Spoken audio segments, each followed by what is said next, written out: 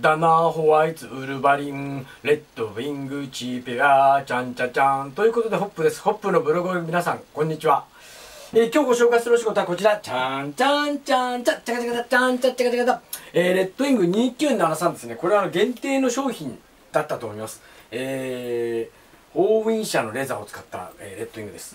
えー、エンジニアだったんですけどもソールを外しましてミッドソールをもう一回縫い付けましてそれでビブラムのあビブラムじゃなかったです。国産ボブソールつけました。手前どもの国産ボブソールつけました。こんな感じですね。ちょっとあのペコス風になってますけども。どうでしょうか？だいぶあの軽くなりました。ということでレッドウィング2973カスタムしたホップでした。またねアフィーダーゼンバイビー。